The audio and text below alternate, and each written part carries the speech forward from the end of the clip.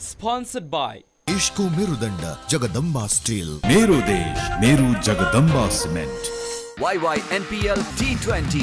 गोड the real goal खेल्नु भयो त world link one world one link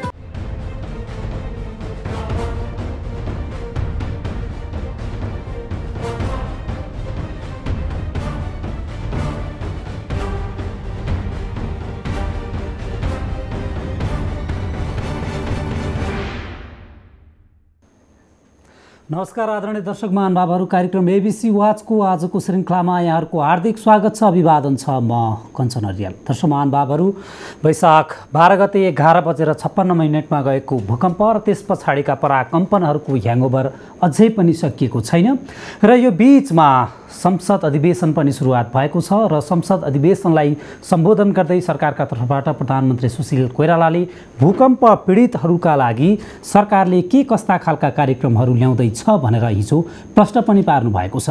र सँगसँगै व्यवस्थापिका संसदमा हिजो दलका नेताहरूले दिएको अभिव्यक्ति अथवा सं व्यवस्थापिका संसदलाई सम्बोधन गरेका अभिव्यक्तिहरू सुन्दाखेरि तुलनात्मक रूपमा केही सन्तुलित र राम्रो भएको पनि विभिन्न सामाजिक सञ्जालहरू त्यस्तै गरी विभिन्न विश्लेषकहरूले बताइरहेका छन्। र सँगसँगै आजको कार्यक्रम एबिसी वाचमा चाहिँ हामी हिजो सरकारले जुन खालको कार्यक्रम ल्याएको छ त्यसको कार्यान्वयन कहिलेबाट सुरुवात हुन्छ र खास गरिकन हामी कहाँ विभिन्न खालका योजनाहरू निर्माण गरिन्छ तर त्यो योजनाहरू कार्यान्वयन नहुने चाहिँ समस्या छ। यद्यपि अहिले हामी राष्ट्रिय विपदमा छौँ हामी सबै मिलेर यो समस्याको समाधान गर्नुपर्छ र त्यसका लागि राजनीतिक दलहरू पनि तयार भइरहेको सन्दर्भमा मसँग कुराकानी गर्नको लागि यतिखेर स्टुडियोमा नेपाल सरकारका प्रवक्ता तथा सूचना तथा सञ्चार मन्त्री डाक्टर मिनेन्द्र रिजाल हुनुहुन्छ। डाक्टर साहब स्वागत छ यहाँलाई। धन्यवाद। हजुर। डाक्टर साहब म तपाईँलाई सुरुवातमा वैशाख बाह्र गतेतर्फ लैजान चाहन्छु। एघार बजेर छप्पन्न मिनट शनिबारको दिन थियो। अप्रत्याशित रूपमा भूकम्प आयो तैपनि भूकम्प कहिले आउँछ? कसैलाई थाहा हुँदैन र भूकम्प आइसकेको करिब छ घन्टा पछाडि मन्त्री परिषदको बैठक बस्यो। अनि मान्छेहरूले सरकारको आलोचना गर्न थाले। यद्यपि नेपालमा भन्दा बरु नेपालको सहयोगको लागि भारतमा चाहिँ चाँडै मन्त्री परिषदको बैठक बस्यो। त्यो स्वाभाविक त्यो साँचो पनि हो र मान्छेले त्यसलाई पनि उदाहरण दिएर सरकारको आलोचना गर्यो सरकार अलिकति अलमल भयो त्यो दिन चाहिँ। होइन हामी त जस्तो म आफू कहाँ थिएँबाट सुरु गर्ने हो भने हाम्रो पार्टीको केन्द्रीय प्रशिक्षण प्रतिष्ठानको कार्यक्रममा थियौँ। हामी थुप्रै सभासदहरू केन्द्रीय सदस्यहरू थियौँ। ती सभाको अन्त्यतिर सभाको सभापतित्व गरिराख्नु भयो। हाम्रा उपसभापति बोल्न उभिएपछि भूकम्प आयो। बिस्तारै सबैजना हामी बाहिर निस्क्यौँ। बाहिर निस्केर त्यहाँ एकछिन बस्यो। मैले त्यो भूकम्प सकिने बित्तिकै आफ्नो घरमा मेरो श्रीमतीलाई फोन गरेँ के छ भने ठिकै छ भन्यो भने फेरि मेरो दुईजना दाजुहरूलाई पालेसँग फोन गरेँ। अनि त्यहाँको परिस्थितिबाट अब काममा जानुपर्छ। अब हामी त के अरे सरकारको जिम्मामा भएका मानिसहरू पीडा बिर्सेर अब काममा जुट्ने बेला भयो भनेर। म डेढ घन्टाभित्र दैवी प्रकोप अपरेसन सेन्टर नेसनल इमर्जेन्सी अप- अपरेसन सेन्टर भन्छ। त्यहाँ पुगेँ। म पुगेको केही बेरमै उप प्रधानमन्त्रीज्यू अरू मन्त्रीज्यूहरू आइपुग्नु भयो मुख्य सचिव अरू सचिवहरू आउनुभयो। र हामी तत्कालै केन्द्रीय त्यो दैवी प्रकोप उद्धार समितिको बैठकमा जुट्यौँ। त्यो स्वाभाविक रूपले त्यो बैठकमा सबैबाट आउने सूचनाहरू लिने। अनि त्यस पछाडि त्यो बैठक बसेर मन्त्री परिषदको बैठक मन्त्री परिषद भन्दा पनि त्यतिखेर के थियो भने कार्यवाहक प्रधानमन्त्री उहाँ नै हुनुहुन्थ्यो गृहमन्त्री नै उप प्रधानमन्त्रीज्यू हुनुहुन्थ्यो। त्यसैले त्यो बैठक चल्यो नै त्यस पछाडि क्याबिनेटको बैठक पनि बस्यौँ हामीले। त्यसैले छ घन्टा बसी बस्यो भने समाचार ठिक होइन एउटा कुरा दोस्रो हामीहरू डेढ घन्टा पछि म डेढ घन्टा पछि पुगेँ दुई अढाई घन्टामा बैठक सुरु भयो होला हाम्रो। कोही त सूचना लिँदै जाने को कहाँ छ त्यसको पनि जानकारी लिने किन भन्दाखेरि सबैलाई तत्काल अब कतिपय मानिसहरू त्यतिखेर पनि पीडाको बोधमै हुनुहुन्थ्यो। अनि सूचना लिने क्रममा जस्तो अब यस्तो काममा सबैभन्दा पहिलो परिचालित हुने नेपाली सेना नेपाल प्रहरी सशस्त्र प्रहरी हो। ती फोर्सका प्रमुखहरू आफ्नो कमान्ड सेन्टरमा बसेर त्यस किसिमको निर्देशन दिएर परिचालन गरिराख्नु भएको थियो। त सबैजना आएपछि अनि त्यो बैठक अ, केन्द्रीय देवी उद्धार प्रको दैवी प्रकोप उद्धार समितिको बैठक बस्यो। अनि गृहमन्त्रीको अध्यक्षतामा मन्त्री परिषद बैठक बस्नु स- थियो। त्यसरी त्यो बैठक बस्यो।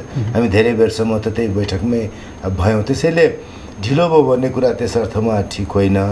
अब अरू मुलुकमा यस विषयमा तत्काल भयो भन्दाखेरि हामी सबै नेपाली सुरुमा त पीडित थियौँ। एक डेढ दुई घन्टा कोही पुग्न लाग्यो होला।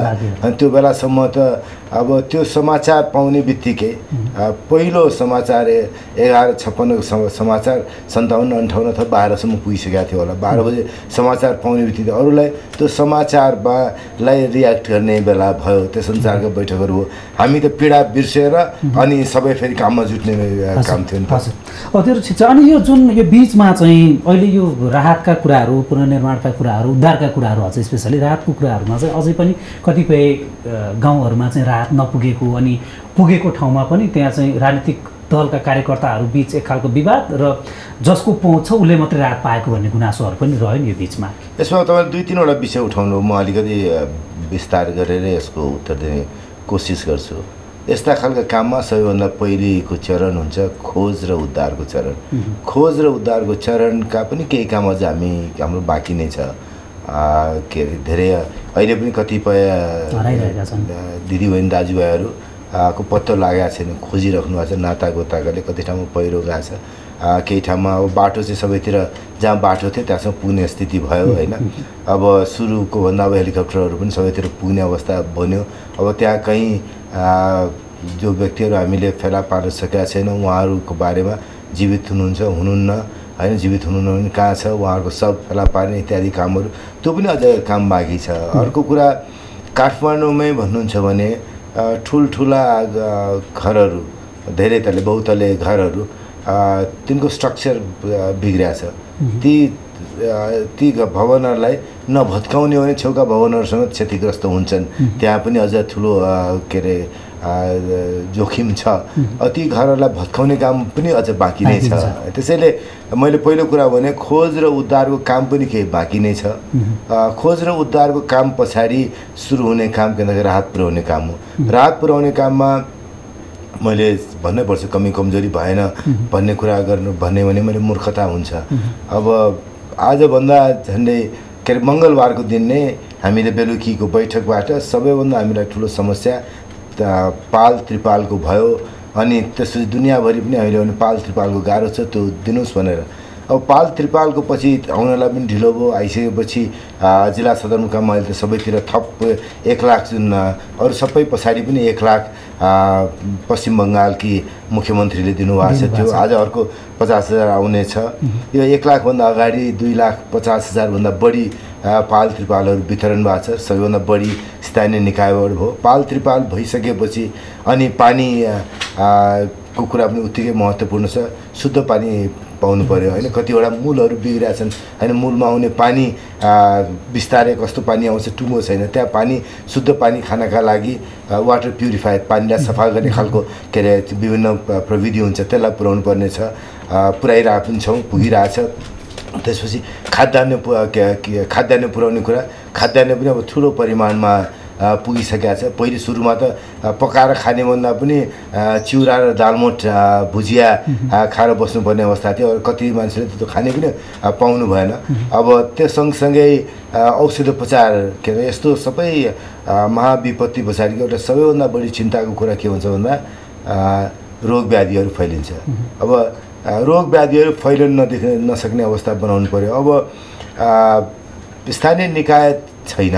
निर्वाचित स्थानीय निकाय छैन। स्थानीय निकाय भएको भए हरेक गाविसमा सत्तालिसजना प्रतिनिधि हुन्थ्यो। हरेक वार्डमा पाँचजना हुन्थ्यो। पाँचजना प्रतिनिधि भएपछि जनताले को छ कराउनु जाने त? अनि उहाँहरूले पनि केन्द्रमा कराउने जिल्लामा कराउने जहाँ कराउने गर्दाखेरि निर्वाचित प्रतिनिधिले म कहाँ यस्तो समस्या हो? खोइ त पाल कहाँ आयो? पानी कहाँ आयो? भन्ने कुरा भन्न सक्नुहुन्थ्यो। होइन त्यसले निश्चित रूपमा हामीलाई। काम गर्नलाई अप्ठ्यारो भयो। तर पनि गाविस सचिवहरू बिस्तारै थुप्रो त सुरुमै काम गर्न थाल्नु कति ठाउँमा अब बिचरा आफै पीडित भएर बसेकोलाई अब बिस्तारै त्यो पीडा बिर्सेर अब मेरो पीडा बिर्सिने बेला आयो मैले आफ्नो काममा जिम्मेवारीमा नेपाल सरकारको जुन काम छ त्यो काममा लाग्नुपर्छ भन्ने हो। थुप्रै थुप्रै नेपाली दिदीबहिनी दाजुहरू के अरे आफ्नै भित्रको उत्प्रेरणाबाट अभिप्रेरणाबाट के अरे आफ्नो पीडा बिर्सेर अरूलाई सहयोग पुर्याउने काममा लाग्नुभयो। अब अहिले राहतको कामको कुरा गर्नुहुन्छ भने कुन सबभन्दा अप्ठ्यारो अब के देखिन्छ त कि जिल्ला सदरमा पुर्याउने कुराहरू प्राय भयो अब। तर जिल्ला सदरमुकामबाट दूर दराजको गाउँसम्म पुर्याउने कुरा होइन? दूर दराजको गाउँसम्म राहतको सामग्री पुग्नु पर्यो। राहतको सामग्री पुर्याउने कुरामा हाम्रो कठिनाइ बाटोघाटो छैन होइन? जति टाढाको गाउँ छ त्यति यत्रो ठुलो सङ्ख्यामा स्वदेशका विदेशका सबै मानिसहरूले एकदम उदार मनले सहयोग पुर्याउनु भएको छ। तर के हुन्छ भने हामीहरू सबै पुग्ने ठाउँ कस्तो हुन्छ भन्दा स के अरे सडक पुगेको ठाउँमा तत्काल पुगिहाल्न सक्ने तत्काल पुर्याइहाल्न सक्ने अथवा हेलिकप्टर सजिलोसँग पुग्ने ठाउँमा हामीहरू सबै पुग्छौँ। तर सरकार त दूर दराजको गाउँसम्म पुग्नुपर्ने छ अबको दिनमा राहतको वितरणको कुराका लागि सबैभन्दा ठुलो कठिनाइ अब हामीले देखायो किनकि दूर दराजको गाउँसम्म जसरी सदरमुकामको छेउमा सडक पुगेको गाउँमा जे गरे होला गाउँ दूर दराजको गाउँमा पनि भन्नुहोस् काहीँ काहीँ त एउटा गाउँ एक दिनमा हिँडेर पनि आ, नसक्ने छ वार्ड पनि काहीँ काहीँ त्यो हामी कहाँ यहाँ फोन आइरहेको छ धेरै ठाउँबाट हाम्रो त तपाईँहरूले समाचारै सङ्कलन गरिदिनुहुन्न। हाम्रो बारेमा त केही बोल्दै बोल्नुहुन्न यहाँका सबै घरहरू नष्ट छ। सरकारको अहिलेसम्म यहाँ ध्यान आइपुगेको छैन भन्ने एउटा गुनासो र अर्को चाहिँ मैले अघि भने जस्तै राजनीतिक दलहरू बिच आफ्नो कार्यकर्तालाई चाहिँ राहत बाँड्ने अरूलाई चाहिँ नबाँड्ने। भएर दुइटै प्रश्नमा यो पछिल्लो एउटा प्रश्न थप गर्नु एउटा त अगाडिदेखिकै प्रश्न हो। हेर्नुहोस् अब हामीले दुई दिन पछाडि अ, त- देखि पुरै। एक एक दिन पछाडि केही घन्टा त्यस पछाडि दुई दिन पछाडिदेखि पुरै चौबिस घन्टा। एक दुई तिन चार चारवटा नम्बर डायल गरेपछि तत्काल नेपाल टेलिकम्युनिकेसन नेपाल दूरसञ्चार कम्पनीको सहयोगमा सूचना तथा सञ्चार मन्त्रालय अथवा भन्नुहोस् हामी सबैले सरकारले कल सेन्टर गऱ्यौँ। बिस बिसवटा टेलिफोनमा एउटै नम्बरमा गरेर चाहिँ बिसवटा मात्रै जुनसुकै ठाउँमा पुग्न सक्यो त्यहाँ पनि सूचनाहरू थुप्रो सङ्कलन गऱ्यौँ अहिले पनि त्यहाँ सूचनाहरू पुगिरहेछ। अहिले पनि तपाईँले भनेको भन्दा हामी फरक खाले सूचना पाएको छैनौँ। म कहाँ त आइपुगेन नि। के अलिकति ठुलो बडो मान्छे कहाँ चाहिँ चाँडै आइपुग्ने हो कि? हामीलाई चाहिँ अ, तपाईँहरूले नसम्झ्या हो कि भन्ने खालको गुनासोहरू आछ अ, त्यसरी तपाईँले भनेको कुरा अथवा तपाईँले सिधै पाउनु कल भन्दा हाम्रो फरक छैन। मैले कसरी भन्नुपर्छ भन्दाखेरि जहाँ राहतको सामग्री पुग्न सकेको छैन यहाँ कम पुगेको छ। त्यहाँको दिदीबहिनी दाजुभाइले म कहाँ आइपुगेन किन मेरो माथिसम्म पहुँच नभएर हो कि म दलको कार्यकर्ता नभएर हो कि भन्ने एकदमै स्वाभाविक कुरा हो। तर त्यस हिसाबले खासै धेरै त्यस्तो छ जस्तो मलाई लाग्दैन काहीँ केही भाव होला हेर्नुहोस् कस्तो हुन्छ भन्दाखेरि अब कोही मान्छे सांसद छ होला अथवा प्रमुख जिल्ला अधिकारी होला अथवा त्यहाँको कर्मचारी होला त्यहाँ राहतको काममा जुटेको शिक्षक होला अथवा त्यहाँको नगरपा पालिकाको के अरे अधिकृत होला अथवा गाविसको सचिव होला। त्यहाँ दौडेर आउने मान्छे होइन? भन्नुहोस् न माग्नलाई अथवा लिनलाई। दौडेर आउने मान्छेको हातमा चाँडै पुग्ने हुन्छ। त्यसरी अहिलेको परिस्थितिमा अघि नै भने चुनौती अब त्यस्तो किसिमको नभइकन सबैभन्दा टाढाको मानिससम्म पनि राहत पुर्याउने कुरा बढी प्राथमिकताको विषय छ। अ, त्यसैले म अनुरोध गर्न चाहन्छु काहीँ कमी कमजोरी छ भन्नुहोस् जुन त उपायबाट भन्न सक्नुहुन्छ एक दुई तिन चार चाहिँ अब बेलुकी चाहिँ चल्दैन अहिले। दिनभरि दिनभरि हामी चलाउँछौँ होइन। बिहानै धेरै बिहानै छ बजीदेखि अनि बेलुकी पनि बाह्र बजीसम्म चल्छ। त्यहाँ फोन गरेर भन्नुहोस् ठाउँ टिपाइदिनुहोस् यो ठाउँमा आएन यो चिज आयो यो चिज आएन। खालि के भन्दाखेरि होइन राजनीतिक पार्टीका मान्छेले मतलब मैले पाइनँ भन्ने भन्दा पनि म यो ठाउँमा छु यो ठाउँमा यो खाले सामान आयो यो खाले सामान आएन भन्ने कुरा भनिदिनुहोस्। अब अर्को हेर्नुहोस् हामीले देखेको दुःख के छ भन्दा कति ठाउँमा बिचैमा सामान लुटेर पनि लग्यो। अब हेर्नुहोस् अब यो पनि अब लुट्न नदिने जिम्मे के अरे परिस्थिति निर्माण गर्ने हाम्रो जिम्मा त हो। तर जुन किसिमको विपत्ति हामीले सामना गऱ्यौँ कि हाम्रो हामी जस्तै यति कम साधन स्रोत भएको मुलुकमा हामीले गर्न सक्ने कामको सीमा छ। हामी सबै नागरिक एक ठाउँमा जुट्नुपर्ने छ बिचमा कसैले लुटेर लगिदिएको छ अथवा के भन्दाखेरि तपाईँ यहाँ नदिकन कसै जानु पाउनुहुन्छ यीको मान्छेले पाएको छैन। भन्दाखेरि कति टाढा लैजाँदै हुनुहुन्छ त्यहीँको मान्छेले खान पाएन रात आइरहेको छ यार र त्यो आक्रोश पोखिनु पनि स्वाभाविक नै त्यसलाई अब। हामीले अस्वाभाविक रूपमा ल्याएको छैनौँ। त्यसरी अबको दिनमा अनि अर्को चुनौती अब बिस्तारै। सुरुमा आएका पाल त्रिपाल पाल त खासै आएको थिएन। त्रिपालहरू पनि कतिवटा त्रिपालहरू अब यो बर्खासम्म थेग्ने खाले हुन्न हेर्नुहोस्। अब पानीमा बस्दाखेरि अब गर्मी अलिदिन हुन्छ पानी पर्दा के अरे पानीको दुःखमा परिन्छ पानी नपर्ने असाध्यै गर्मीको बेला पर्छ। यस्तो बेलामा रोग व्याधिहरू फैलिने असाध्यै ठुलो डर हुन्छ। अब फेरि कति जीव जन्तुहरूको लास त्यसलाई व्यवस्थापन नगर्दासम्म त्यसैबाट रोग व्याधि फैलिने हुन्छ। यी सबै कुराबाट ध्यान पुऱ्याएर काम गर्नुपर्ने खण्ड छ। अब हामी सबै हेर्नुहोस् अब यसलाई यो दुःखबाट बिस्तारै अब मैले अरूतिर पनि भनेको छु तपाईँसँग पनि भन्न चाहन्छु कि हाम्रो नेपाली जाति यस्तो रहेछौँ कि हामी यो सबै दुःखका बावजुद निकै दिन भइसक्यो। हामी आफ्ना सबै दुःखलाई बिर्सिएर जीवनका धेरै चिजहरू जहाँ छताछुल्ल भएर गएको थिए नाता गोता परिवार आफ्नै अङ्ग इत्यादि होला अथवा सामान होला घर होला सबै चिज।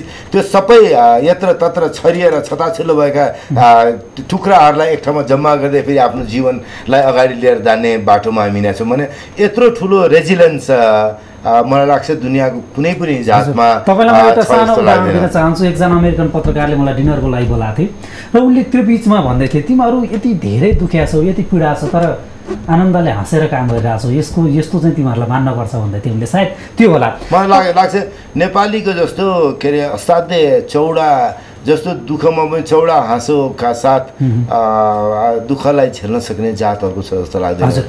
मैले तपाईँसँग धेरै प्रश्न सोध्नु छ त्यही भएर अर्को प्रश्न पनि सोधिहालेँ। यो बिचमा अन्तर्राष्ट्रिय सहयोगहरू पनि धेरै नै आए।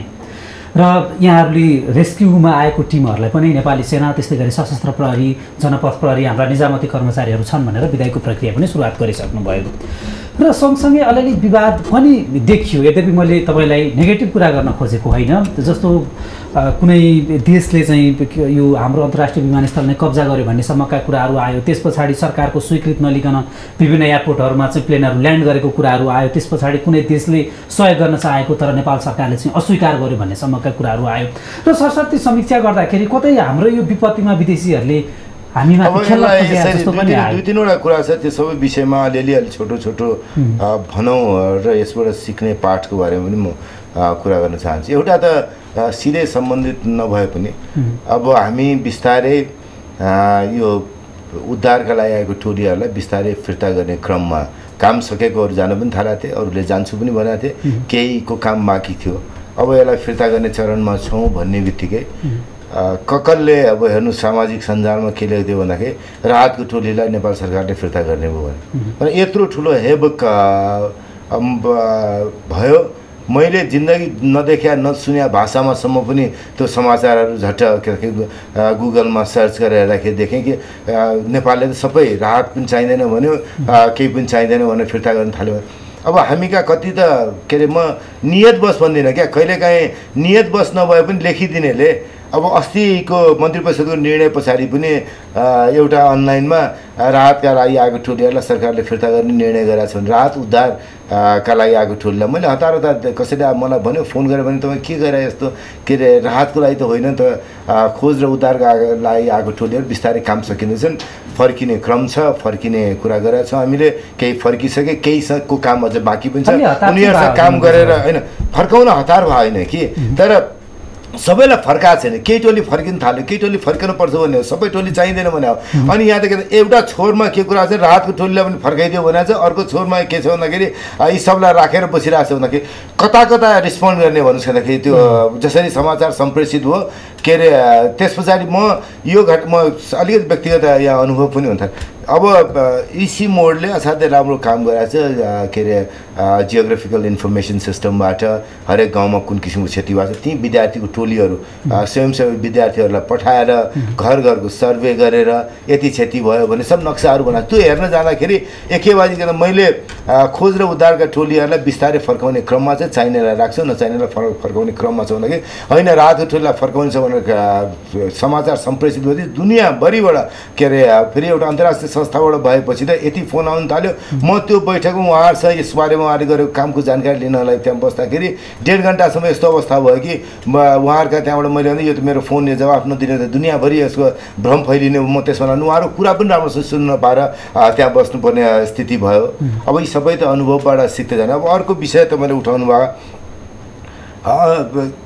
कतिवटा देशको चाहिँ विमानले नै अन्त एयरपोर्ट कब्जा गरे जस्तो भयो भनेर अथवा कसैलाई हामीले बस्नु दिएनौँ भनेर। बस्नु नदिएको भन्ने कुरा बिल्कुल निराधार हो। हामीले कहिले पनि कुनै पनि टोलीलाई बस्नु दिँदैनौँ भने होइन। तर हाम्रो प्राथमिकता थियो हामीले तत्कालै दोस्रो दिन तेस्रो दिनमा होइन मङ्गलबारको दिनमा हाम्रा आवश्यकताहरू यो यो हुन् भनेर लिपिबद्ध रूपमा तयार गऱ्यौँ। दोस्रो दिनमै पनि तयार त थियो। तेस्रो दिनदेखि एकदम लिपिबद्ध रूपमा तयार भएर प परराष्ट्र मन्त्रालयसँग त्यो रह्यो र परराष्ट्र मन्त्रालय सबैलाई पहिले त्यो लिपिबद्ध हुनुभन्दा अगाडि पनि हाम्रो प्राथमिकता यो सामान हामीलाई पहिले चाहियो। उद्धारको सामग्री चाहियो उद्धारको लागि टोली चाहियो के अरे राहतको सामग्रीमा पाल चाहियो। हाम्रा प्राथमिकता यो लिएर आउने टोलीलाई हामी पहिले ल्यान्ड गर्नेछ। हामी कहाँ नौवटा जहाज अन्तर्राष्ट्रिय विमानस्थलमा नौवटा जहाज छ भने दसौँ जहाज अवतरण गर्न सक्दैन। त्यसैले हामीले नौवटा जहाज विमानस्थल हुँदाखेरि दसौँलाई दिन नसक्ने भएपछि रातभरि विमानस्थल चलेको छ हेर्नुहोस् त्यतिखेर यति धेरै फ्लाइट ह्यान्डल गर्यो भने एयर ट्राफिक कन्ट्रोलरहरूले के अरे अरू पनि सेना प्रहरी सशस्त्र प्रहरी रह्यो। हामीहरू के अरे सरकारका मन्त्रीदेखि लिएर सचिवदेखि लिएर उच्च पदस्थ कर्मचारीहरू रहनुभयो एयर ट्राफिक कन्ट्रोलर चौबिस घन्टा काम गर्नुभयो। त्यो बेलामा अनि प्राथमिकता तोक्ने कि नतोक्ने? प्राथमिकता तोक्दाखेरि हाम्रो प्राथमिकताभन्दा बाहिर परेको फ्लाइटलाई हामीले पर्खनुपर्छ भने हो। पर्खनुपर्छ भने त्यो समाचार के आउँदाखेरि फल्नालाई बस्नु दिन्न भनेको छ भने। बस्नु नदिने भन्ने अ, काहीँ हामीले भन्दा पनि होइन। यति मात्रै होइन। उद्धारका लागि आफ्ना नागरिकको उद्धारका लागि आउनु जहाजलाई पनि हामी दिन्छौँ तर अहिले हाम्रा लागि तपाईँहरूको नागरिकलाई काठमाडौँमा लिएर आउने इत्यादि हाम्रो भित्र काम भयो होला। एयरपोर्टबाट राहत सामग्री लिएर आउँछ उद्धारको सामग्री ल्याउँछ उद्धारको टोली ल्याउँछ स्वास्थ्य उपचार गर्ने टोली लिएर आउँछ भन्दाखेरि त्यो प्राथमिक क्रम तोक्दाखेरि हाम्रो सानो एयरपोर्ट सानो एयरपोर्टमा अरू उपाय भएन। अब अर्को कुरा अर्को मुलुकले। पुरै जिम्मा ल्याए जस्तो अर्को मुलुकै के अरे आदेशमा चलाए जस्तो भन्दाखेरि यसको दुईवटा पक्ष छ। एउटा त हेर्नुहोस् हामीहरू कहाँ तेह्र चौधवटा हेलिकप्टर भारतले लिएर आएर हामीलाई मद्दत गरिरहेको थियो। अब तेह्र चौधवटा हेलिकप्टर लिएर आएको मुलुकले मद्दत गर्दाखेरि हामीले त्यसलाई त्यसै रूपमा ग्रहण गऱ्यौँ भने मद्दतलाई मुक्त कण्ठले प्रशंसा गर्नु पर्यो होइन भने तेह्र चौधवटा अरू हेलिकप्टर चलायो भने तेह्र चौधवटा त्यो हेलिकप्टर चढ्ने बित्तिकै होइन उनीहरूले नै लिए भने जस्तो खालको सोच हामीले राख्नु उचित पनि हुन्न थियो जस्तो मलाई लाग्छ। अब काहीँ अर्को एउटा यसको पक्ष के हो भन्दाखेरि हामीहरू जस्तो सुकै भने पनि हेर्नुहोस् हामी नेपाली स्वाभिमानी जात हो हामीहरू कहिले पनि पराधीन भएनौँ होइन। कसैको अधीनमा रहेनौँ नेपाल सधैँ स्वतन्त्र रह्यो। त्यो हामीलाई एउटा गौरव छ होइन?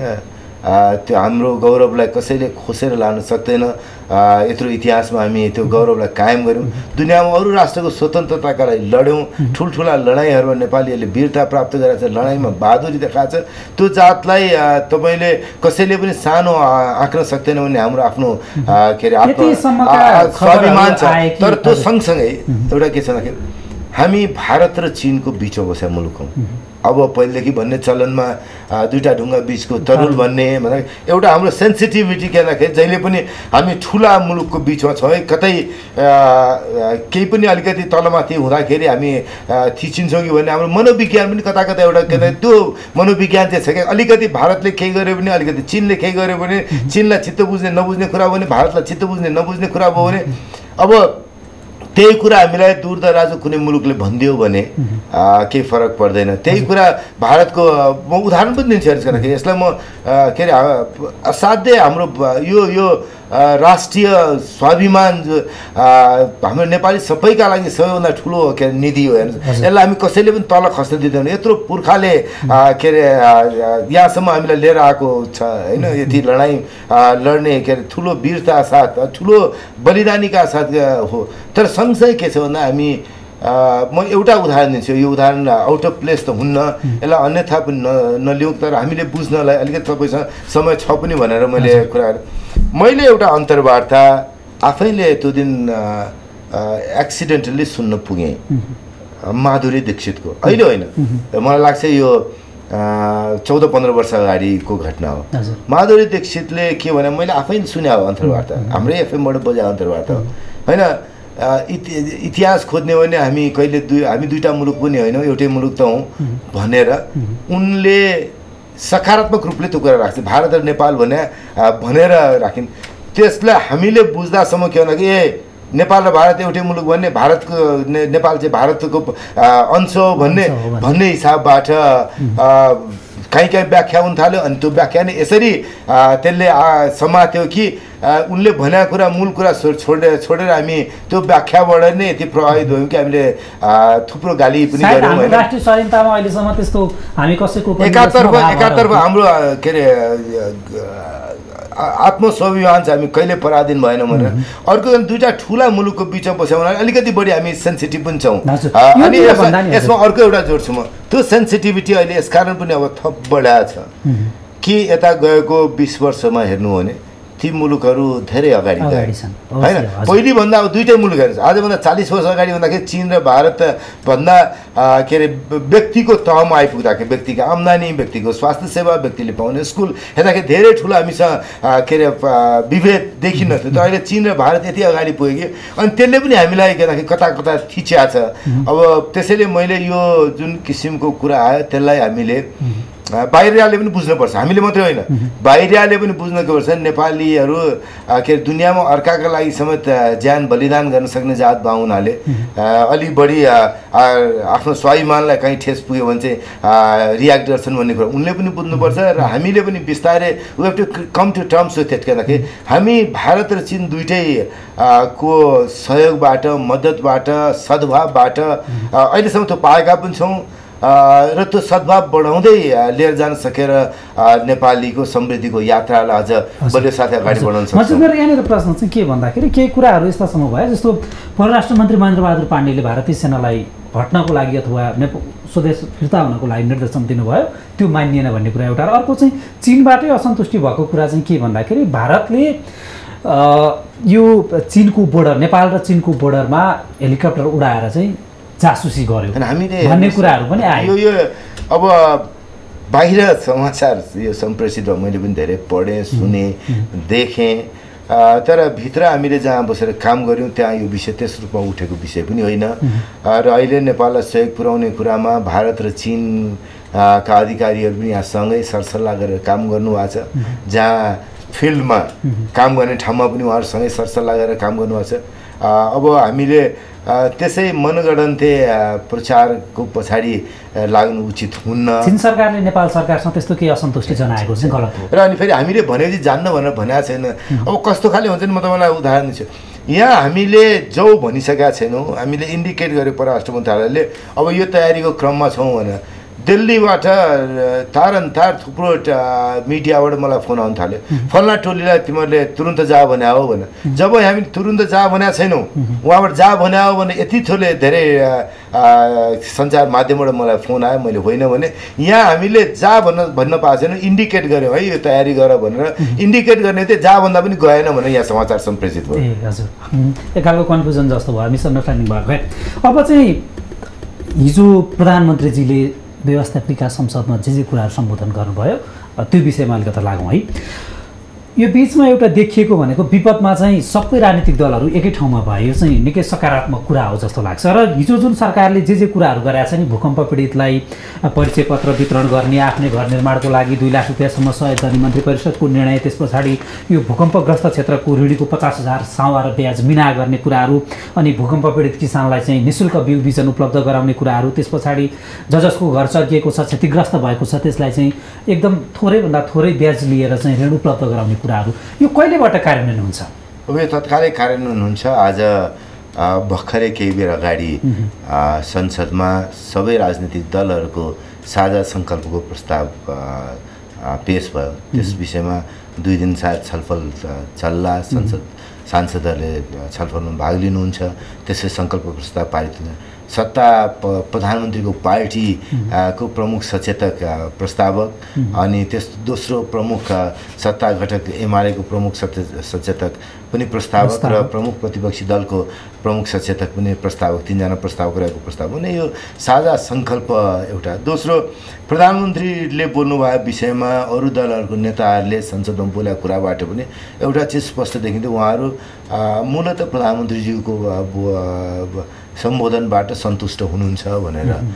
त्यस्तै प्रधानमन्त्रीज्यू पनि विपक्षका नेताहरूले बोलेको कुरामा उहाँले भन्नुभयो के अरे राम्रो बोल्नुभयो भनेर हामीसँग बसेर कुरा गर्दाखेरि पनि त्यसै रूपमा ग्रहण गर्नुभएको छ। अब पु अ, पुनर्निर्माणको एउटा एउटा पक्ष बारेमा अलिकति विस्तारित रूपमा कुरा गरौँ जस्तो लाग्छ। अब सुरुमा होइन दुई सय अरब रुपियाँको पुनर्निर्माण योजना कम भयो भन्ने ध्वनि आयो होइन। तर अहिले दुई सय अरबको पुनर्निर्माणको योजनालाई कसरी प्रभावकारी रूपमा सञ्चालन गर्ने र यसलाई प्रभावकारी रूपमा सञ्चालन गर्न सक्यो भने अझ बढी पनि बाहिरबाट ल्याउन सकिन्छ भन्ने कुरामा हामी सबै एउटै मतमा कुरा गरिरहेछौँ।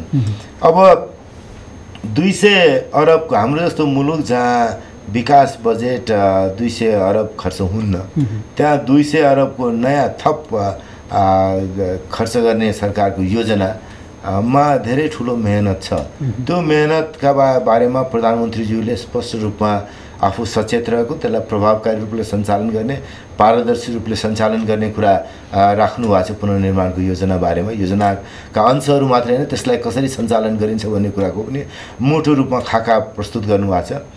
विपक्षबाट पनि कुरा आयो कि यो काम गर्नका लागि यत्रो ठुलो चुनौतीलाई सामना गरेर पुनर्निर्माणमा मा जानलाई नेपाललाई फेरि पाँच दस वर्ष पछाडि यो विपत्तिबाट निस्किँदा यो विपत्तिलाई चाहिँ एउटा अवसरका रूपमा रूपान्तरित गरेर शक् शक्तिका रूपमा रूपान्तरित गर्यो यो शोकलाई भनेर जनताले देख्ने गरी काम गर्ने खालको हाम्रो संयन्त्र हुनुपर्छ राजनीति हुनुपर्छ भनेर विपक्षका नेताहरूले पनि त्यसलाई हामीले सकारात्मक रूपमा ग्रहण गरेका छौँ। अब भन्नुहोस् न यो काम ठिकसँग गर्न सकिएन भने अब खाद्य सामग्री पुर्याउँदाखेरिका झन्झट हामीले जुन भनिरहेछौँ यो पनि त दुई लाखसम्म घ के अरे घर क्षति भएको परिवारलाई दिने भने जसको घर क्षति भएको छ त्यो ठाउँसम्म पुर्याउने कुरा। चुनौतीपूर्ण रहेछ। चुनौतीपूर्ण। जसो क्षति भएको छैन त्यसलाई पनि यो क्षतिबाट फाइदा लिन सकिन्छ कि भन्ने लालच थपिने डर पनि त उत्तिकै छ। त्यस्तै राजनीतिक दलहरू तल बसेर काम गर्दा कसैले आएर होइन मेरो त अब धेरै ठुलो क्षति त होइन तर क्षति त भयो नि। तपाईँले भने जस्तो पूर्ण क्षति पनि भएको छैन दुई लाखै रुपियाँ पाउने खालको त छैन। तर तपाईँले एउटा सानो हस्ताक्षर गरिदिनु भने मैले यति गर्न पाउँछु। भन्दाखेरि त्यहाँबाट उम्किन अथवा सरकारी कर्मचारी प्रमुख जिल्ला अधिकारी होलान् अथवा एलजिओ होलान् स्थानीय विकास अधिकारी अरू अरू सरकारी कर्मचारी होलान् अरूले दबाब दिँदाखेरि ती समुदायमा बसेर काम गर्ने मान्छेलाई त्यो दबाबबाट उम्केर अ, बडो विवेकशील तरिकाले यो कामलाई सम्पादन गर्ने कुरा चुनौतीपूर्ण छ तर त्योभन्दा अझ अगाडिको चुनौती भन्नुहुन्छ भने हामीले दा दातालाई विश्वास दिलाएर तिमीले दिएको पैसा हामीले तिमीले। तिमीले आफ्ना देशमा गर्न सक्ने खर्चभन्दा सामाजिक रूपमा न्यायपूर्ण र बढी चाहिने ठाउँमा खर्च गर्छौँ। त्यो खर्च गरेपछि केही सीमित मान्छेले त्यसको फाइदा लिने होइन। साँच्चै दुखी पीडित जसलाई यो सहायता बाहेक अर्को कुनै कुनै त्राण छैन त्यससम्म पुर्याउन सक्छौँ भने विश्वास नदिलाउने पनि पैसा दिँदैन। म एउटा सा सानो उदाहरण दिन चाहन्छु हेर्नुहोस्। चुनौतीलाई ध्यान दिने हो भने हेटीमा आ, आएको भूकम्प बारेमा हामीलाई जानकारी छ हामी सबैलाई। झन्डै दुई लाख मानिससम्मको ज्यान गयो भन्- भन्ने छ। विभिन्न किसिमको आँकडाहरू छ होइन। बिस लाख झन्डै मान्छेहरू प्रभावित हुनुभयो भन्ने छ। दसदेखि बिस लाख विभिन्न खालको एस्टिमेटहरू छ। अनि क्षति सात अरब डलरको क्षति भयो भन्दाखेरि सात खरबको क्षति भयो भन्ने। अब अमेरिकाको छेउको राष्ट्र त्यसले पनि महत्त्व राख्यो होइन। सुरुमा तेह्र खरब रुपियाँ दिने भनेर दाताहरूले प्रतिबद्धता जनाए।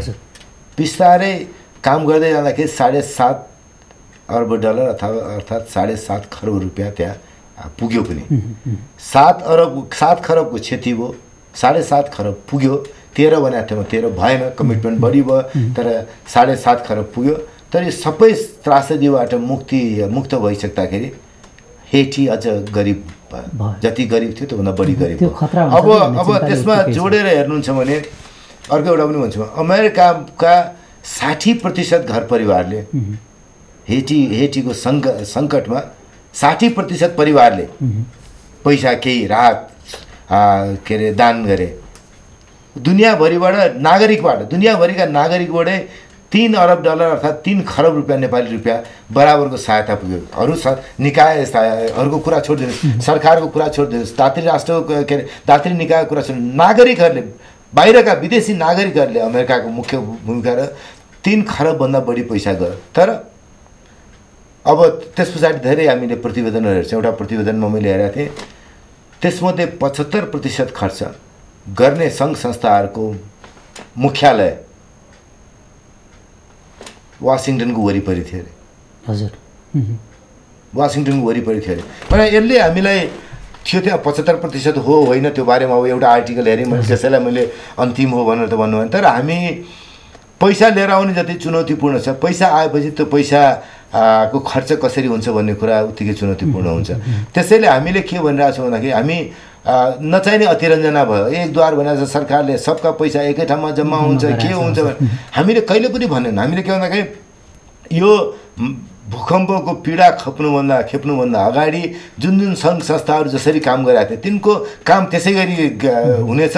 तिनको खाता पत्रमा हामीले केही पनि जबरजस्ती हुन्न उनको खाता पत्र काम गर्ने खाता पत्र रहन्छ उनले क्यास ग्रान्ट नगद पनि सहायता लिन सक्छन् राहत सामग्री पनि प्रदान गर्न सक्छन्। भने तर त्योभन्दा होइन सरकारले सबै अनि कतिले त कि अनि तपाईँ मलाई हामीले त्यो पनि सूचना पायौँ धेरैले गरेको छैन। केही केही मान्छेले मैले फेरि यसलाई थुप्रोले गरेँ भन्ने अर्थ भन्नाले केही केही मान्छेले कहाँसँग होइन पैसा दिनुहोस् यो त के अरे राहतका लागि हो सिधै प्रधानमन्त्री कोषमा गइहाल्छ नि भने भने हेर्नुहोस् यस्ता खालका अप्ठ्याराहरू पनि हुन्छन् त्यसलाई हामीले होसियार गर्नुपर्ने हुन्छ एकातर्फ भने। अब विपक्षले पनि कुरा ल्यायो हामी सरकार पनि सचेत छौँ। हामीले नेपालको सरकारको बाहिरबाट आउने पैसा पारदर्शी रूपमा सबैभन्दा जसले पाउनुपर्ने त्यसमा पुर्याउने गरी र सबभन्दा उपयुक्त ठाउँमा खर्च गर्ने विश्वास दिलाउन सक्यो भने पैसा आउँदैन।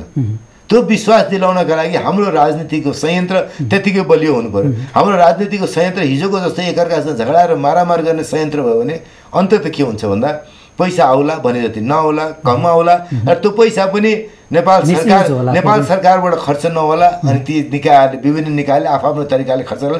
काहीँ थुप्रो पुग्ला काहीँ पुग्दै नपुग्ला जहाँ थुप्रो पुग्ला त्यसको पनि अपचलन होला। त्यसैले अहिले हामीले भन्न त के भन्नु छ भन्दाखेरि खर्च तपाईँहरूले राहत पुर्याउन सक्नुहुन्छ पुनर्निर्माणमा पनि सहयोग पुर्याउन सक्नुहुन्छ। यो सरकारबाटै गर्नुपर्छ भने चाहिँ तर सरकारलाई जानकारी दिनुपर्छ। कहाँ जानुहुन्छ कस्तो किसिमको राहत लिएर जानुहुन्छ अथवा कुन पुनर्निर्माणको काम गर्नुहुन्छ हामी काहीँ त्यहाँ पुनर्निर्माणको लागि अर्को कोही गइसकेको छ भने भन्छ तपाईँ नजानुहोस् अर्को कोही जान्छ। राहतको लागि पनि त्यहाँ कोही गइसकेको छ भने तपाईँ नजानुहोस् अर्को गइसकेको छ अर्को ठाउँ जानुहोस्। अथवा राहतको सामग्री पनि यो सामग्री पुगेको छ यो सामग्री नलानुहोस् अर्को सामग्री लानुहोस् भन्छ। तर सँगसँगै यो सबै कुराका बावजुद पनि चुनौती के छ भन्दाखेरि हाम्रो राज्य यन्त्र नेपाली जनताको सबभन्दा दुखी सबभन्दा पीडा भएको दूरदराजको नेपाली जनतासम्म राहत पुर्याउने उनको पुनर्निर्माण र फेरि जीवनमा के अरे फर्कनका लागि चाहिने सुविधा राज्यले दिने सुविधा पुर्याउन सक्ने संयन्त्र हुनु पऱ्यो त्यस्तो भरपर्दो भरपर्दो संयन्त्र भयो भने बाहिरबाट पनि सहयोग आउँछ। बाहिरबाट सहयोग आयो भने थप सहयोग पनि आउन सक्छ। तर त्यसैले राजनीतिलाई फेर्ने कुरा महत्त्वपूर्ण छ। त्यसैले हिजो विपक्षले उठाएका कुरा होला अथवा हामीले धेरै अगाडिदेखि संविधान बनाउने कठिनाइपूर्ण चरणमा हामीहरू छौँ भनेर अहिलेको अहिले प्रधानमन्त्री सुशील कोइराला प्रधानमन्त्री बन्ने क्रममा हामीहरूले अरू राजनीतिक दलहरूलाई पनि भन्यौँ सङ्घीय लोकतान्त्रिक गणतन्त्र संस्थागत गर्नका लागि अहिले सबै मिलेर सरकार बनाऊ। सरकारमा कोही भित्र कोही बाहिर भयो भने संविधान बनाउनु खालि एउटा यसलाई भनेर टुङ्ग्याउन थालेँ। त्यसैले अहिले जुन किसिमको सेन्टिमेन्ट देशमा आएको छ संसदमा जुन कुराहरू अभिव्यक्त भएको छन् बाहिर जुन कुरा अभिव्यक्त छ त्यसलाई हामीले यस रूपमा ल्याएको छौँ कि अब राज्य यन्त्रका प्रति जनताको पनि विश्वास छ बढाउने राज्य यन्त्रका लागि विदेशीको पनि विश्वास बढाउने र राज्य यन्त्रको प्रभावकारिता र पारदर्शिता बढाउने किसिमले रूपा रूपान्तरित गर्नलाई हामी तयार छौँ। नेपाली काङ्ग्रेस तयार छ प्रधानमन्त्री तयार हुनुहुन्छ सत्तामा रहेका सबै दलहरू एमाले लगायत तयार छन् भन्ने हाम्रो बुझाइ छ। यसलाई त्यसै रूपमा सदुपयोग गरियो भने त जनता सबभन्दा दुखी जनतालाई हामीहरूले पुर्याउने राहत ठिकसँग पुर्याउन सक्छौँ। हिजो संसदमा सम्बोधन गर्दाखेरि धेरै नेताहरूले भनेको यो बिचमा चाहिँ जब भूकम्प गयो त्यस पछाडि चाहिँ दलका नेताहरूलाई बदनाम गर्ने खालका मिसिङ भनेर सामाजिक सञ्जालहरूमा लेख्ने खालका कुराहरू एउटा र अर्को कुरा सँगसँगै यहाँले जुन अन्तर्राष्ट्रिय सहयोगको कुरा गर्नुभयो त्यो चाहिँ पुग्ने नपुग्ने नेपाल सरकारलाई पनि विश्वास नगरे जस्तो हो कि त्यस्तो अवस्था दुईवटा चिजलाई छुट्याएर हेर्नुपर्छ जस्तो लाग्छ। अब जनताले खोज्ने कसलाई त? खोज्ने त नेतालाई हो नि। सरकारलाई हो होइन हामी। किन छौँ भन्दाखेरि जनताको मतबाट संसदमा छौँ हाम्रो पार्टीलाई दिएको मतमा होला होइन? पार्टीलाई प्रत्यक्षमा समानुपातिमा दिएको मतका कारणले सभासद भएको छौँ। हाम्रो उपस्थितिका कारण सरकार बनाएको छ जनताले हामीलाई संसदमा दिएको तागत दिएको समर्थनका आधारमा छौँ भने राजनीतिक दलहरू जनताको समर्थनका कारणले ठुला साना भएर बसेका छौँ हामीहरू आफ्नो ठाउँमा भन्दाखेरि जनताले हामीलाई बाहेक अर्कोलाई खोज्दैन। पहिलो खोज्ने नै राजनीतिक दलका नेताहरूलाई खोज्ने भेटिएन। कहाँ हरायो भन्ने जनताले भन्ने एकदम लेजिटिमेट गुनासो हो। एउटा पक्ष थियो। तर अर्को काहीँ काहीँ त्यो प्रवृत्ति पनि देखियो। म एउटा उदाहरण मात्रै दिन्छु अब आफ्नै अनुभवबाट उदाहरण दिनु। एउटा के तपाईँ जस्तै के अरे राष्ट्रिय टेलिभिजनमा झन्डै चालिस पचास मिनटको अन्तर्वार्ता दिएँ। मलाई प्रश्न एउटा थियो कि तपाईँ अ, ले पनि तपाईँ आफ्नो पनि परिस्थिति राम्रो भएको सम्पन्न मान्छे हुनुहुन्छ। तपाईँका सङ्घ संस्थाहरू पनि हुनुहुन्छ नि त्यसले राहतको लागि सहयोग गर्दैन। भने मैले सहयोग गर्छौँ। दौडेर प्रचारको प्रचार गर्ने लालसाबाट हामी काम गर्दैनौँ। पहिले पनि मुलुकका विपत्तिहरूमा म रहेको सङ्घ संस्थाहरूले मद्दत गराएको छ। अहिले पनि हामी दिन्छौँ। एक महिना दुई महिनापछि हेर्नुहोस् म र म भएको सङ्घ संस्थाले के गर्यो भनेर। त्यसले मलाई किनकि यो प्रचारबाजीको म लोभ छैन भने। त्यसको ठ्याक्कै केही पोर्टलहरूले त्यसको ठिक्क उल्टो दिन्न भनेर मिलेन्द्र जाले भन्यो भनेर छापिदिनु। अनि यस्तो चाहिँ गर्न पाइँदैन। अब हामीहरू त बानी परिसकेका छौँ हेर्नुहोस् अ, एकदमै क्षुद्र राजनीतिक स्वार्थका लागि गलत प्रचार गरेर गर्नेहरू। अब त्यसलाई त हामी अब लामो समयका लागि राजनीति रा लामो समयदेखि राजनीतिमा छौँ। जनताले पत्याएका दिनसम्म हुन्छौँ। जनताले काम छ मात्र निकालेका दिन हामी नेता रहन्नौँ त्यसैले अब यस्ता क्षुद्र टिप्पणीहरूबाट हामी कहिले पनि विचलित हुन्नौँ हुन्नौँ। त्यो कुरा त छँदैछ। तर जनताको अधिकार यो केही क्षुद्रहरूले टिप्पणी गरे आलोचना गरे भन्ने बित्तिकै जनताले हामीलाई खोज्ने हामीलाई आलोचना गर्ने जुन आलोचनालाई हेरेर हामी आफ्ना कामहरूलाई सुधार गर्न सक्छौँ गर्छौँ। त्यो मौका त छोड्नु हुँदैन। साँच्चै भन्नुहुन्छ भने अहिले यो महाविपत्तिमा हामीहरू काम गर्दाखेरि जनताबाट सुनेका जनताका प्रतिनिधिबाट सुनेका दलहरूबाट सुनेका सामाजिक सञ्जालहरूमा हामीले सुनेका लेजिटिमेट आलोचनाहरूबाट हामीले प्रत्येक घन्टा प्रत्येक दिन आफ्ना काम कारवाहीलाई अझै प्रभावकारी बनाउन सक्यौँ। त्यसैले त्यो त्यो अधिकार जनताको सदैव रहन्छ त्यो अधिकार नरहने हो भने त लोकतन्त्रको अर्थै भयो हजुर। अब जनतामा एउटा अहिले सबैभन्दा ठुलो चाहिँ नि प्रश्न चाहिँ के छ भने मन्त्रीज्यू हिजो जो जुन कुराहरू आए सरकारको तर्फबाट अब त्यो कसरी पाउन सकिन्छ? त्यसको प्रोसेस के हुन्छ होला? अघि तपाईँले भन्नुभयो मिसयुज हुने सम्भावना अब अहिले ठ्याक्कै म दिदीबहिनी दाजुभाइहरूलाई के अनुरोध गर्न चाहन्छु भने अब केही दिन अझ नाङ्गो छानो नभएको घरमा नाङ्गो आकाशमा बस्नुपर्ने परिस्थिति बाट दिदीबहिनी दाजुभाइलाई मुक्त गर्नु छ। अस्थायी आश्रयस्थलको व्यवस्था सबैभन्दा ठुलो प्राथमिकताको विषय हो। अनि अस्थायी आश्रयस्थल सँगसँगै छ सात आठ महिनासम्म त्यही अस्थायी आश्रयस्थल अलि टिक्न सक्ने पानी बर्खा सहन सक्ने बिस्तारै हिउँदमा पनि बस्न सकिने खालको आश्रयस्थलमा बिस्तारै सारेर दिदीबहिनी दाजुहरूलाई राख्नुपर्ने कुरा त्यस पछाडिको। अब यो दुई तिन दुई तिन हप्ता अस्थायी आश्रयस्थल तयार हुने टाढा भएकालाई एउटा ठाउँमा एकत्रित गर्ने अथवा विभिन्न गाउँहरूमा गर्ने।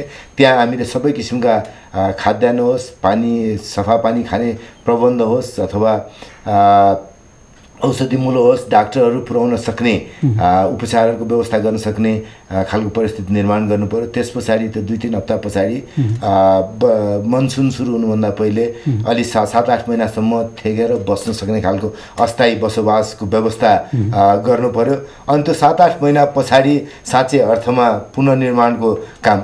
सुरु त हुन्छ तर पुनर्निर्माणको काम सुरु गर्नका लागि यो राहतको अस्थायी आश्रयस्थलको ब- महामारीबाट बच्ने रोग व्याधिबाट बच्ने उपायबाट पा बाहिर निस्केपछि अनि पुनर्निर्माणको योजना बढी महत्त्वको हुन्छ। पुनर्निर्माणमा तर अब अलि झन् समस्या के देखिन्छ भने अब त वर्षायाम सुरुवात हुँदैछ। यो बिचमा अर्को एउटा विपत्ति पनि आउन सक्ला किनभने भूकम्पको कारण गर्दा हामी धेरै कमजोर पनि भइसकेका छौँ। अब यो असार र साउनमा जुन वर्षायाममा यो क्षति कम गर्नको लागि चाहिँ सरकारले कुनै त्यस्तो योजना बनाउँछ कि बनाउँदैन अब? क्षति कमाउनु स्वाभाविक अब हेर्नुहोस् बिस्तारै सरकारका निकायहरू मूल आफ्नो जुन कर्तव्यमा फर्केर काम गर्न थालिसकेका छन् होइन? त्यसैले अब तपाईँले भन्नुभयो जस्तो अब एउटा जिल्लाकै उदाहरण सिन्धुपाल्चोक हामी जुरेको पहिरोले के अरे त्यहाँ मानिसहरू के भन्दाखेरि जीवन छ्या छ्या भएको थियो होइन? चिरा चिरा परा जीवनबाट बिस्तारै फर्किँदै गर्दाखेरि फेरि यत्रो ठुलो महा विपत्ति परेको छ। अब हाम्रो के अरे जमिन हाम्रो माटो कमजोर भएको छ होइन? अब त्यहाँ के भन्दाखेरि कतिवटा पाहाडमा अब नक्साहरू देखाएको छ भने नदीहरू बन्द हुने आंशिक रूपमा छन्। त्यहाँ बिस्तारै बहावबाट त्यो नदीहरूमा भएका फोहोरहरू पन्सिए के अरे स्वाभाविक प्राकृतिक बहावमा नदीहरू बहन पायो भने धेरै ठुलो पहिरो इत्यादिको सामना गर्नु पर्ला। त कहीँ कहीँ पहिरो आउँछ बाढ आउँछ ती त्यसका लागि हामी तयार हुनुपर्छ। बाटोघाटोहरू अवरुद्ध हुन्छन् होइन? त्यहाँ यसै पनि अवरुद्ध हुने मनसुनको बेलामा बेला ठाउँ ठाउँ हुने ती थप बढी होला। बस्दाखेरि महामारीको सम्भावना पनि होला। किनभने उदाहरण दिँदा नौ महिना पछाडि त्यहाँ बुझेँ। तर त्यसलाई सबभन्दा ठुलो प्राथमिकताका साथ रोग नफैलियोस् भनेर बाहिरको सहयोग पनि हामीले त्यसै गरी यसमा जुटाउनुपर्छ। के अरे विश्व स्वास्थ्य सङ्गठनहरू राष्ट्रहरूको सहयोग अरूको अनुभवबाट हामीहरू अझ बढी चनाखो भएर यो काम गर्न सक्नुपर्छ। अब कुनै पनि मुलुकका लागि नेपालको लागि मात्रै होइन कुनै पनि मुलुकका लागि छ लाख परिवारहरू घरबार विहीन हुने कुरा। मामुली कुरा होइन यसको-। इन्टेन्सिटी के अरे यति धेरै जिल्लामा फैलिया छ होइन क्षतिको विवरण आज हामी सबैले। देखिसकेका छौँ होइन यति ठुलो भूभागमा यति धेरै मानिसहरूमा भएको क्षति र हाम्रो जस्तो नेपालमा छरिएर एउटा डाँडामा दुईवटा तिनवटा घर अर्को अनि कति हिँडिसकेपछि घन्टौँ पछाडिको अर्को डाँडामा बस्ने यसरी छरिएका बस्तीहरूमा सेवाहरू पुर्याउने कठिनाइ जुन चाहिँ सबैलाई ध्यानमा राख्ने हो भने आउने दिनका चुनौती हिजोको भन्दा अझ बढी कहाली लाग्दछन्। त्यसैले हामी राजनैतिक रूपमा संरचनागत रूपमा पनि त्यसै किसिमको तयारी गर्नुपर्छ भन्ने मान्यताबाट अभिप्रेरित छौँ। अहिले संसदको साझा सङ्कल्प पनि त्यही हो। र राजनीतिलाई अब त्यही रूपमा रूपान्तरित गरौँ भन्ने हाम्रो पनि सत्तामा रहेका दलहरूको र विपक्षमा रहेका दलहरूमा पनि एउटा त्यो ध्वनि तपाईँहरूले बलियो साथै सुन्नु भएको छ त्यही ध्वनिलाई अझ हामीले अझ धारिलो बनाएर अगाडि लिएर गयौँ भने हाम्रो राजनीति पनि त्यसै किसिमको तयारीमा हाम्रा सरकारी यन्त्रहरू र सरकारी बाहेक अरू यन्त्रहरू पनि त्यही किसिमको तयारीमा राष्ट्रिय अठोटका साथ जुत्न सक्छौँ भन्ने लाग्छ। हिजो प्रधानमन्त्रीको सन्देश सम्बोधनको पनि मूल आ, आशय त्यही हो राष्ट्रिय अठोटका साथ अगाडि जाउँ भन्ने विपक्षबाट पनि त्यो ध्वनि पाएका छौँ र आजको साझा सङ्कल्प पनि त्यही संसदको पनि त्यही मलाई अझै एउटा कुरा चाहिँ अलिकति क्लियर गरिदिनुहोस् न है। यो जुन सरकारले घोषणा गराएको छ नि त्यो त केही समय लाग्छ भन्नुभयो यहाँले होइन? तर त्यसको त्यो मेकानिजम हुन्छ नि जस्तो मानिलिउँ कसैको घर ध्वस्त भएको छ र उसले तपाईँले दुई लाख रुपियाँ दिने अथवा सरकारले दुई लाख रुपियाँ दिने घोषणा गराएको छ उसले आफैले पुनर्निर्माण गर्छ भने त्यो अवस्थामा चाहिँ त्यो उसको घर ध्वस्त भएको हो उसलाई दुई लाख रुपियाँ चाहिँ दिनुपर्छ भन्ने मेकानिजम उसले सिधै गएर दाबी गर्दैमा त हुँदैन। त्यो चाहिँ कस्तो खालको मेकानिजम तयार हुन्छ? त्यो कार्यविधि तयार गर्छौँ भनेर छौँ हिजोको के अरे प्रधानमन्त्रीज्यूको वक्तव्यमा पनि त्यही छ। कार्यविधि तयार गर्ने क्रममा योजना आयोग र अरू सम्बन्धित मन्त्रालयहरू जुटिसकेका छन्। अब यो काम चाहिँ जसको क्षति भएको छ त्यो त्यसले राहत पाउने नै। जसको क्षति भएको छैन त्यसले अन्य कुनै तरिकाले अन्य कुनै प्रभाव प्रयोग गरेर अनुचित प्रभाव प्रयोग गरेर त्यो सुविधाको दुरुपयोग पनि नगरोस्। त्यो बढी हुन्छ। त्यसैले हामीले एउटा पहिलो चरणमा के गर्यौँ भन्दाखेरि उपसचिव शाखा अधिकृतको नेतृत्वमा पाँचजनाको टोली अति प्रभावित गाविसहरूमा पा- पाँच सयभन्दा बढी गाविसमा टोलीहरू पठाइसकेका छौँ। अझ अरू गाविसहरूमा पनि पठाउनुपर्छ अति प्रभावित हुन तोकेका जिल्ला बाहेक अरू जिल्लाहरूमा पनि जिल्ला अति प्रभावित नहोला तर जिल्लामा गाउँहरू छन् अति प्रभावित गाउँहरू छन्। ती। सबै ठाउँमा पठाउने टोलीको राहतकोमा सहयोग पुर्याउने सँगसँगै यो बेस लाइन तथ्याङ्क सङ्कलन गर्ने। अहिले त भन्नुहोस् न झन्डै छ लाख घरहरू पूर्ण र आंशिक रूपमा क्षतिग्रस्त छन् भन्छ तर छ लाख भनेर अब पुग्दैन यो राहत अवश्य बाँड्ने बेला बढ्छ, त हरेक मान्छे यो रामप्रसादको क्षति भाव हो होइन? श्यामप्रसादको भाव होइन। होइन, दानबहादुरको भाव हो होइन? हरिबहादुरको भाव कि होइन हजुर? त्यो त त्यो छुट्याएर। मात्रै गर्नुपर्ने हुन्छ। त्यो बेला त अङ्कको कुरा गर्दैनौँ हामी। हरेक एक एकवटा यो हरेक एकजना यो परिवार क्षति भएको होइन क्षति भएको हो भने राहत पुर्याउने क्षति भएको होइन भने तपाईँको त होइन है भनेर भन्न सक्ने अवस्थामा पुग्नुभयो। त्यो काम धेरै चुनौतीपूर्ण छ र हामी सबै निकायहरू स्थानीय तहमा रहेका सरकारका निकायदेखि लिएर राजनीतिक दलहरूको सहयोग हामीलाई आवश्यक पर्छ। त्यसैले प्रधानमन्त्रीज्यूको अध्यक्षतामा अस्ति नै त्यो बनिसकेका छ। सबै राजनीतिक दलहरू रहेको र केही सङ्घ संस्थाहरू रहेको केन्द्रमा सहयोग तथा अनुगमन समिति त्यस्तै जिल्लामा प्रमुख जिल्ला अधिकारी आ, को संयोजकत्वमा सबै राजनीतिक दलहरू सङ्घ संस्थाहरू रहने जिल्लाको सहयोग र समन्वय समिति र गाविस नगरपालिकामा तीको अधिकृत अथवा सचिवको अध्यक्षतामा सबै दलहरू रहने र सङ्घ संस्थाहरू रहने सहयोग तथा अनुगमन समिति बनाएको यो समिति अत्यन्त महत्त्वपूर्ण के अरे जिम्मेवारी छ। हामीले उहाँहरूको सहयोग जुटाएर काम गर्नु छ तपाईँ हेर्नुहोस् एउटा गाविसमा अब अघि नै भने भने निर्वाचित जनप्रतिनिधि हुनुहुन्न।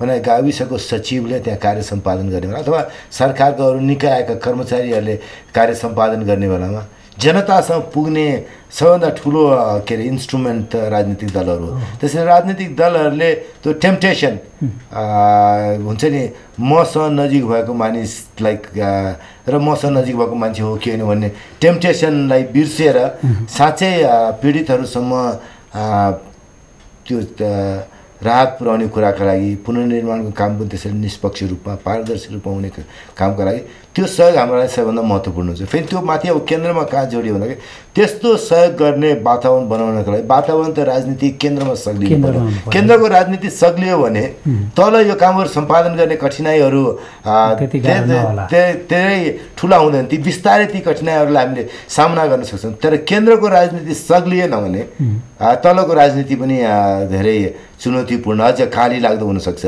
त्यही कुरालाई ध्यानमा राखेर राजनीतिलाई सञ्चालन गर्नुपर्छ हाम्रो हजुर। अब अर्को कुरा चाहिँ जस्तो अहिले यो बिचमा विभिन्न उद्योगपतिहरू त्यस्तै गरी गैर आवासीय नेपाली सङ्घ भनौँ अनि विदेशमा रहेका व्यक्तिहरूले चाहिँ नेपालका विभिन्न गाउँहरू बनाइदिन्छौँ भनेर भनिरहेका छन्। होइन? जस्तो एनआरएलले चाहिँ एक हजार घर बनाइदिन्छु भनेको छ। केही दिन अगाडि उद्योगपति विनोद चौधरीले पत्रकार सम्मेलन गरेर म यो गाउँमा चाहिँ यति घर बनाइदिन्छु भनेर भन्नुभएको छ। त्यो चाहिँ अब त्यसलाई यहाँहरूले चाहिँ कसरी व्यवस्थापन गर्नुहुन्छ?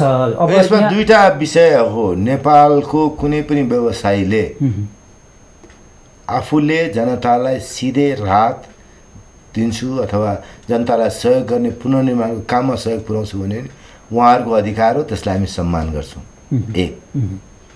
सँगसँगै नेपालमा व्यवसाय गरेर आफ्नो तिथि रीति थिति यो बनाएकोले अब नेपाल सरकारको संरचना चाहिँ मेरो लागि मान्य छैन त्योभन्दा बाहिर मात्रै काम गर्छु भन्नु पाइँदैन। यो दुईवटा कुराको अब सन्तुलनको कसरी खोजी गर्ने भन्दा हामीले के भनेको छ भन्दाखेरि तपाईँहरू आफै सञ्चालन गर्ने कामहरू कसरी सञ्चालन गर्नुहुन्छ कहाँ सञ्चालन गर्नुहुन्छ? आउनुहोस् बसौँ कुरा गरौँ। हामीलाई सूचना चाहियो जानकारी चाहियो तपाईँहरूले गर्ने भने ठाउँमा अर्को कोही गएको छैन भने तपाईँहरू त्यहाँ जानुभयो ल अब सरकार जानु परेन है त? भनेर त्यसरी एउटा ठाउँमा समन्वय गर्न सकौँ भन्यो। तर सँगसँगै हाम्रो उहाँहरूसँग अनुरोध के पनि छ भन्दाखेरि सरकारको संरचना भन्दा बाहिरी संरचनाबाट मात्रै काम गर्नुपर्छ भन्ने मानसिकता निर्माण गर्नका लागि उहाँहरूले गरेको अत्यन्त परोपकारी कामले पनि परिणाम त्यतातर्फ नल्याओस्। त्यसैले उहाँहरूले आफ्ना संरचनाहरूबाट गर्ने कामहरू सरकारको समन्वयमा गर्नुहोस्। हामी उहाँलाई कहीँ रोकटोक लाउँदैनौँ। हामीलाई जानकारी भएसम्म एक ठाउँमा डुप्लिकेसन नहोस् कहीँ पुग्दै नपुग्ने अवस्था नहोस् भन्ने गर्छौँ। तर सँगसँगै उहाँहरूले सरकारी संरचनाबाट गरिने कामलाई सरकारी संरचना सबभन्दा पारदर्शितै हुन्छ। जनतासँग सिधै जवाब दिनुपर्छ। विपक्षहरूले संसदमा उभ्याउँदाखेरि उभिएर जवाब दिनुपर्छ। अख्तियारले राष्ट्रिय सतर्कता केन्द्रले आम नागरिकले पत्रकारहरूले भन्दाखेरि जवाब दिएर उभिनुपर्छ। ती संरचनाहरू चाहिँ-। ती संरचनाहरू चाहिँ हुँदैन भन्दाखेरि हेर्नुहोस् हेचीको अनुभव म फेरि भन्छु हेचीमा सरकारी संरचनाहरू काम लाग्दैनन् भन्दाखेरि अन्तत के हो भन्दाखेरि सरकारी संरचनाबाट दस प्रतिशत पनि बाहिरबाट आउने सहयोगको रकम जान पाएन। अनि अरू सिधै आफ्ना आफ्ना प्यारल समानान्तर संरचनाहरू कायम गरेर काम गर्ने संस्थाहरूले जति सुकै राम्रो नियतवश काम गर्दाखेरि पनि के भन्दाखेरि अन्तिम दुःख पाएको व्यक्तिमा पुर्याउने काम हुन सकेन। थुप्रो पैसा जहाँबाट आएको थियो ती फर्किने काम भयो। अनि जनतासँग नपुगेन सबैले त्यही गाउँमा दसवटा एजेन्सी काम गर्यो भने दसवटा एजेन्सीले दसवटा अधिकृत राख्नु पर्यो। त्यसरी यी कुराहरूलाई काम भयो भने भोलि सरकारलाई पनि योजना बनाउनु पनि सजिलो होला। होइन तर हामी एउटा एउटा एकदम फेरि यसमा गलत अर्थ नलागोस्। नेपालको कुनै पनि नागरिक कुनै पनि व्यवसायीले उदात्त परोपकारी भावले गर्छु भनेर काममा सरकारले रोकटोक लगाउँदैन त्यसलाई समन्वय गर्छ। तर त्यो सँगसँगै उहाँहरूसँग अनुरोध के छ भन्दाखेरि म चाहिँ अलग्ग सरकारको भन्दा बाहिरी संरचनाहरू मात्रै बस्छु भनेर एउटा गलत सन्देश पनि सम्प्रेषित नहोस् कि नेपालको सरकार र नेपालको राज्य यन्त्र अब छैन भन्ने सन्देश बाहिर प्रभावित भयो भने त्यो सन्देशबाट हामीहरू हाम्रो मुलुकलाई अझ बढी बेफाइदा हुन्छ। त्यतातर्फ ध्यान पुऱ्यायौँ भने उहाँहरूको इच्छालाई हामीले सम्मान गर्ने हो र नेपाल राज्यको अथोरिटीलाई कमजोर नबनाउने हो भने मात्रै नेपाली जातिको स्वा स्वाभिमान रहन्छ भन्ने लाग्छ। हजुर। र म केही दिन अगाडि यो भुइँचालोकै रिपोर्टिङको क्रममा आरुघाट गएको थिएँ र त्यहाँ चाहिँ यो बुढी गण्डकी जलविद्युत परियोजनाको काम पनि भइरहेछ। त्यहाँको जनताले के भनिरहेको थियो भने सरकारसँग गुनासो के थियो भने हाम्रो घर भत्कियो सबै सखाप भयो। अब घर फेरि बनाउन थालौँ वान क्षेत्र भनेर विस्थापित हुन पर्ला। नबनाऊ हामी के गर्ने भन्ने प्रश्न थियो मन्त्रीज्यू। ए तत्कालै गर्नुपर्छ। त्यसैले हामीले पाँचजनाको टोली पठाइहाल्यौँ। अब यतिले पुग्दैन। अझ हामीहरू काम गर्छौँ। आरुघाट त उदाहरण मात्रै हो यस्ता धेरै ठाउँहरू छन्। बुझेँ मैले त एउटा गा के अरे हरेक गाविसमा पाँचजनाको टोली केन्द्रबाट पठाएको भने यो पो हेर्नुहोस् यस्तो परिचालन त्यसलाई ठुलो स्केलको निर्वाचन क्षेत्रमा सहसचिव हरेक जिल्ला प्रभावित जिल्लामा सचिवको टोलीसम्म पनि पुग्यो। भने हामीले नेपाल सरकारले परिचालन गर्ने टोलीको कुरा गर्ने भने यो अत्यन्त ठु ठुलो व्यापक रूपमै परिचालन भएको छ। तर पहिलो चरणमै हामीले पठायौँ अब सेनाले त्यसै गरी जहाँ सेना त्यहाँ पुग्न सकेका थिएन। पैदल टोली। आजभन्दा छ सात दिन अगाडि पठायो। नेपाली सेना सशस्त्र प्रहरी नेपाल प्रहरीले संयुक्त रूपमा। भने अनि स्कुलहरू छन्। स्कुलका शिक्षकहरू नेपाली जनताले तिरेको तिरोबाट तलब खानुहुन्छ। उहाँले यत्रो ठुलो राम्रो काम गर्नुभएको छ। होइन उहाँहरूको सहयोग चाहिन्छ बिना शिक्षकहरू यत्रो ठुलो सङ्ख्यामा रहनुभएको शिक्षकहरू सहयोग बगैर हुँदैन। त्यहाँ सामाजिक सङ्घ संस्थाहरू छन् क्लबहरू छन् अघि नै मैले भने राजनीतिक दलहरू छन् यी सबै एक ठाउँमा नलाग्ने हो भने त कसले यहाँ बसेर केन्द्रमा बसेर कसले छुट्याउन सक्ने? अघि नै मैले भने श्याम विश्वकर्माको घर भत्किएको हो अनि रामप्रसादको घर भत्किया होइन भनेर टुङ्गो गर्नका लागि त हामी तलै के अरे तृणमूलमा हामीहरू काम गर्ने सबै चाहे कुनै जागिरमा हौँ जागिरमा नहौँ राजनीतिक दलमा हौँ नहौँ सामाजिक काममा हौँ अन्य काममा हौँ। हामीहरू एक ठाउँमा जुट्नुपर्छ। अघि नै मैले भने त्यस किसिमको राष्ट्रिय अठोटका साथ काम गर्नलाई केन्द्रको राजनीति सग्लो बनाउनु आवश्यक छ आवश्यकता छ र केन्द्रको राजनीति सङ्लो बनाउनको लागि अघि नै यहाँले सङ्केत गर्नुभयो र प्रश्नहरू पनि उठ्न थालेका छन् विभिन्न ठाउँमा बहस पनि हुन थालेका छन्। अब राष्ट्रिय सहमतिको सरकारको आवश्यकता छ। त्यो भयो भने विपदलाई सहज रूपमा व्यवस्थापन गर्न सकिन्छ। अझ भनौँ प्रभावकारी बढी हुन्छ भन्ने छ। होइन हामीले सुरुदेखि मैले अघि नै तपाईँलाई हाम्रो कुराकानीको क्रममा एकपल्ट भने अहिलेको सरकार निर्माण गर्ने क्रममा नेपाली काङ्ग्रेस सबभन्दा ठुलो दल नेकपा एमाले दोस्रो ठुलो दलका बिचमा सहमति गऱ्यौँ सात बुधे। त्यो सहमति गर्ने बित्तिकै हाम्रो पार्टीका महामन्त्री कृष्णप्रसाद सिटोलाजी र म अ, त्यसपछि तेस्रो ठुलो दल एकीकृत नेकपा माओवादीका अध्यक्ष पुष्पकमल दाहाल प्रचण्डजीको घरमा गयौँ। हामीले भन्यौँ यो सरकारमा तपाईँ पनि सामेल हुनुहोस्। हामीले सात बुधे सहमति गऱ्यौँ। योभन्दा तपाईँहरूसँग पनि बसेर यो सहमति अझ परिमार्जित हुनसक्छ।